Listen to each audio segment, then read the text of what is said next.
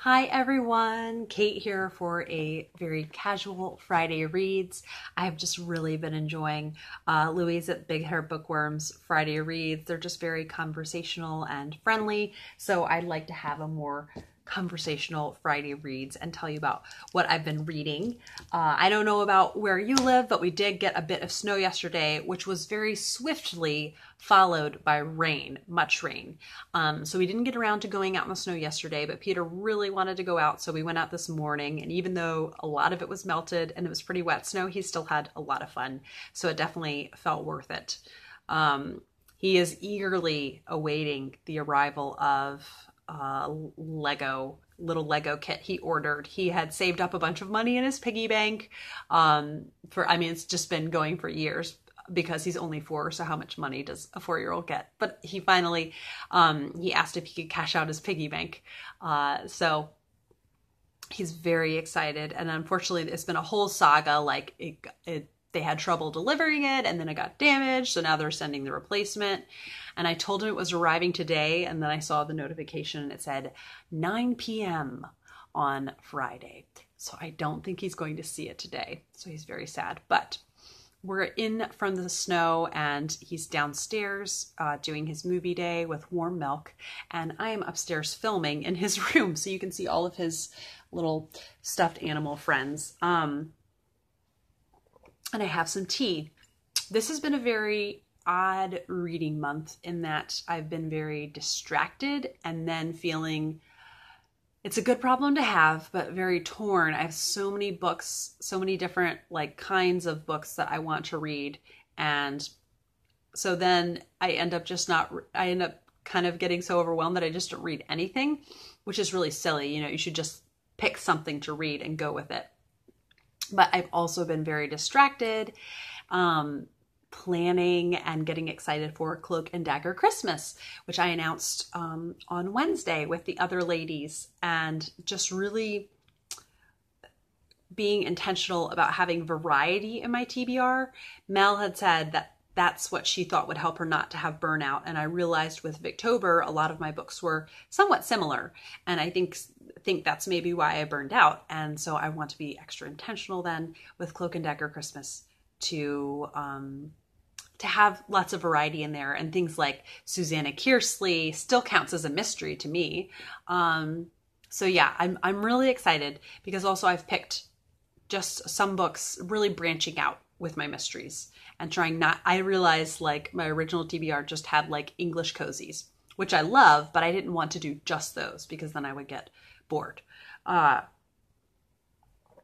and I'm also doing something really fun with the TBR. So I'm looking forward to filming that. I don't know if I'll film it next week because it's going to be crazy with packing and traveling and traveling, you know, to family and back home. Uh, but the next week, I think I will film it. I can't wait to share it with you all. And it was so lovely seeing everyone's comments, being really excited about Cloak and Dagger Christmas, as excited as I am. And uh, yeah, I can't wait. And I'm also really looking forward to seeing Mel's TBR because she has not put hers up yet. And I just I think she'll pick some really interesting things and she'll just make me want to add more to mine, but I think I'll have to add them to the long-term TBR. So, on to the books that I am currently reading. The first is The Path of Daggers by Robert Jordan. This is the eighth in the Wheel of Time series, and it had been over a year since I had re- picked up one from the series. But Doris is reading it alongside me. Um, it's very low key buddy read because we've both been kind of distracted this month just with other, you know, other stuff going on. And we have not really kept up nearly at all with the pace we said we were going to but it's really nice when you're buddy reading and someone else is reading at the same pace you are, whether it's slow or fast, uh, because then you feel like you aren't holding them up or, uh, you know, or you aren't just going way ahead. Um, so yeah, we're just keeping it really low key. My audiobook is about to expire and I'm really bummed because I'm planning on starting uh, knitting uh, stuffed animals for Peter and Arthur for Christmas, and I was really looking forward to listening to that. But alas, I will have to listen to something else because other people have it on hold before I do.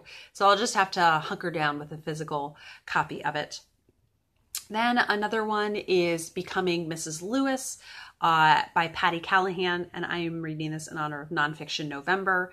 It's a very compelling audiobook, just a few chapters in. So I definitely want to make some more headway with that and finish that by the end of the month.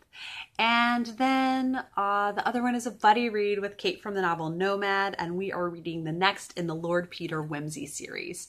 And it is Have His Carcase. And already this is a big step up from uh, the Five Red Herrings which was really a come down from Strong Poison. So I think I've recovered from Five Red Herrings, and Harriet Vane is back in this one. And there's just so much love of the mystery genre, and so much because she's a mystery author, this character, and so much talk of just kind of oh, future mystery plots and plot devices for mysteries. It's just a whole lot of fun. So I'm really pleased to be back in this world. It is taking me a little while to get through it though on my phone. So I'm telling myself, you know, I try to think about reading in terms of um, months, not weeks. So I've had, you know, two kind of mediocre reading weeks. Um, and I'm telling myself that the last two are just going to be great. And I can still think of November as a really productive reading month. Um, and I, you know, just kind of have my priorities and now just get get to reading, get to the books. And so then next on the list in another nonfiction November read is West with the Night by Beryl Markham. This is a really delightful and different book than I usually read. Uh, it's about her time in Kenya and as a pilot, and just some really remarkable stories. Uh, just such a different world from mine, so interesting to think about. And the writing is absolutely beautiful, so poetic, so introspective and reflective and I adore this book already. And I've just finished part one, so 57 pages in, and this is definitely uh, a must must finish uh, for November, especially because it is a library book, but also because I just want to know what happens to her. Came out in 1942, so I'm enjoying kind of like the older language uh, since I'm not reading really any classics this month.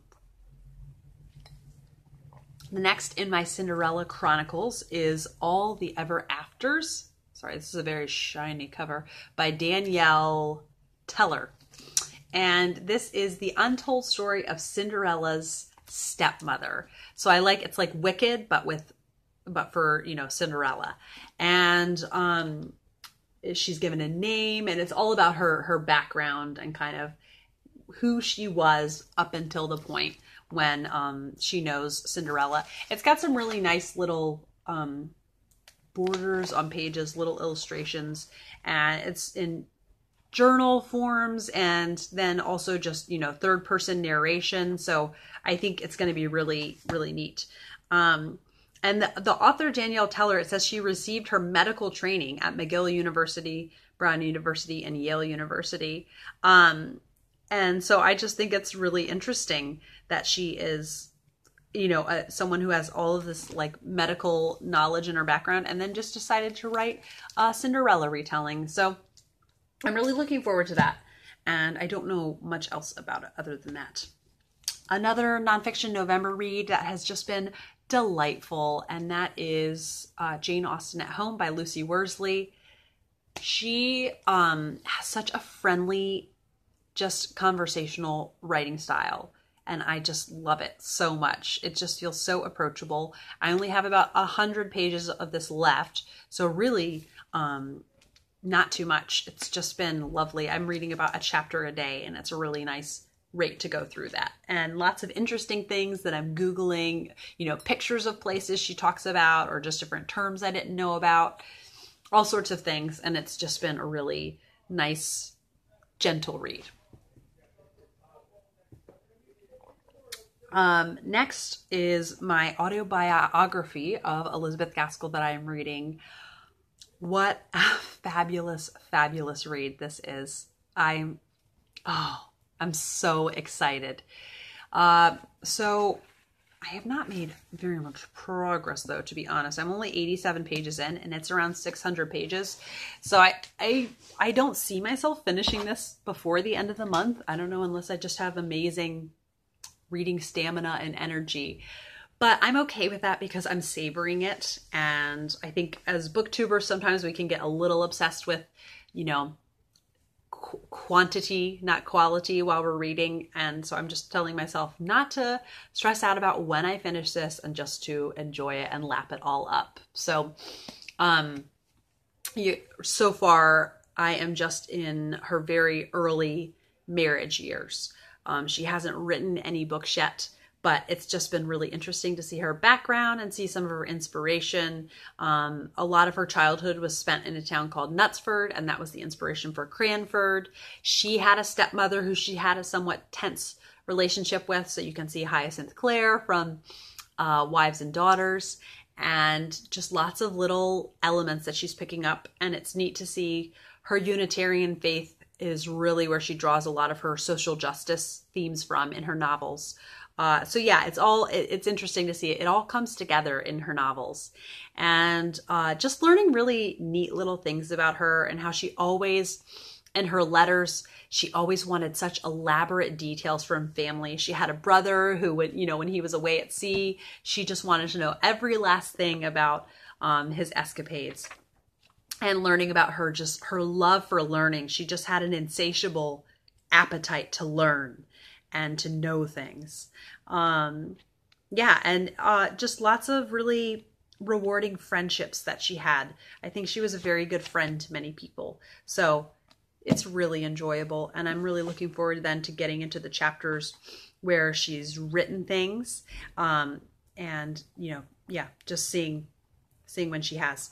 So uh, we'll continue on with this. I'm not sure when I will finish it, but like I said, I am okay with that another one that I've not made much progress in, and that is because it is a lot more heavy of reading than I usually do, and that is Letters to a Diminished Church by Dorothy L. Sayers. I find I have to really take my time with this. I'm even trying a fair amount to read these aloud. And um, it's really profound. It's really wonderful when I do sit down and read it. So I just kind of have to be in the right mindset. Um, and I'm annotating, writing down a fair amount of quotes.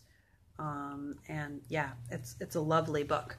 So I'm really resonating with a lot of what she has to say about um, Christianity and how it's not necessarily um, always easy. You know, life isn't easy, um, but that doesn't mean that it's not something worth um, really being committed to. Um, yeah, it's a very thought provoking and poignant conversational book. Um, the word of the day is conversational. I realize I've said that a fair amount of times. Uh, then, lastly, this one I know I can finish by the end of the month, and that is The Magician's Nephew by C.S. Lewis. I have been reading this year through this series with Katie from Life Between Words. It's been such a treat. Um, I'm only two chapters into this, but really have enjoyed everything I've read in this. This one, to me, I think feels the most different, actually, from all the books. Um, this or The Horse and His Boy, but it's it's nice as you're going through this, the variety that you're seeing. The only thing is, unfortunately, going rereading this, it's not living up to my expectations that I had for it. I read it when I was a fair amount younger. Um, and so I think it is one that maybe uh, as a child you do enjoy slightly more. So, like I said, I've definitely enjoyed it, but it hasn't quite been to the level that I remembered enjoying it the first time. Um, but yeah, definitely a worthwhile endeavor to reread this series this year and I really don't remember much of the last battle. So I'm looking forward to that, and we're going to definitely fit that in in December. So then we can just have that finished. Um, yeah, so those are my reads. Uh, it's a, you know I'm calling it a Friday reads, but it's really kind of finishing hope hoping to finish by the end of November. Uh, yeah, so let me know what you're reading, and I do have a couple very late uh, my Victober five star TBR two videos, the reactions and the predictions um, coming. I just have to edit them. So they're on my computer.